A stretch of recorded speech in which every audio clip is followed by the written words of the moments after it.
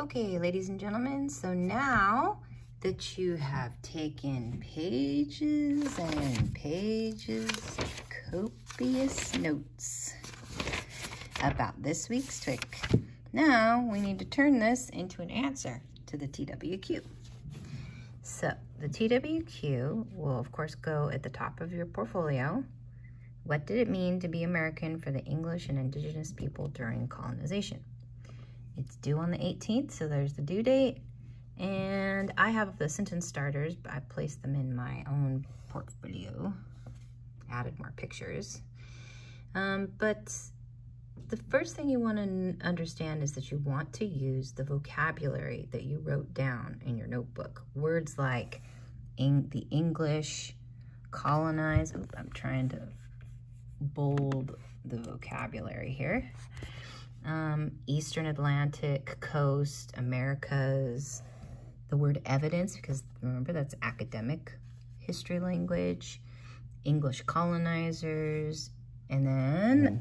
the New England region, English in the middle colonies, the southern colonies. I'm really including the notes that I took to write a beautiful historical, uh, historically accurate response. And as you can see, when I talk about the Native Americans in this essay, I'm going to list the three groups that I studied, the Wampanoag, the Lenni Lenape, and the Powhatan. And each of those groups were from one of those regions in the colonies. So the sentence starters are based on the idea that you took notes about the three different colonies, the English, uh, the New England, the middle, and the southern colonies, and that in each of those English slash British colonies, each of them, uh, there was a group of Native Americans that were affected and also did, of course, they had their own agency as, uh, as Native Americans at the time of colonization. And I made sure that I talked about each one of them. That will make an excellent response. Now, I start my essay by talking about the English. And then I go into my second paragraph where I speak about the Native Americans. And then in my conclusion, I'm going to talk about their differences and similarities because when you have two groups and the question is asking you about two groups and what it meant to be American, a great way to write about that is compare and contrast. So I am mostly contrasting here and not using much comparison.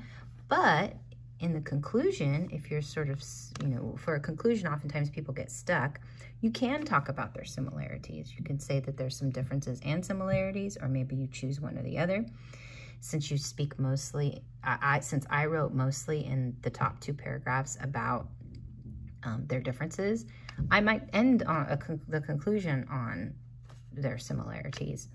Um, you know, it's really up to you how you structure that. But in the conclusion, by focusing on the comparing and contrasting, it actually allows you to speak about one thing mostly in the essay, and then you have something to write about in the conclusion, which a lot of people usually struggle with is, well, I just said everything in my essay. What do I say in my conclusion? Um, I didn't put an introduction paragraph in this one because it really is a pretty it's a straightforward response. I'm not asking you to write me an introduction for this, but I would expect at least a conclusion because that first paragraph where I speak about the English, it really just, I just dive right into answering the question about what did it mean to be American for the English and indigenous people. So that first sentence where it says, when the English first began to colonize the eastern Atlantic coast of the Americas, at first they blank, but then they did what. So I would, where those dot dots are, you would fill in, if you're using my sentence starter, you would fill in what you think um, or what happened. Now, I think that's a perfectly good introduction, and even though you're jumping right into the first group of people, that's fine for a, weekly TWQ, that's okay. Now, if it was a formal five-paragraph essay, you'd want to have some sort of introduction with some background information, but um, for this, it's fine. Uh, hopefully that's helpful. I think that turning your notes into an essay really is about making sure that you're talking about what you took notes on. The question is that I asked um, is uh, you can only answer it really by taking those notes and then thinking about those notes and making some inferences. So if you have any questions, please email me. This, if you want to use some of the sentence starters and not all, that's fine as well. Great day.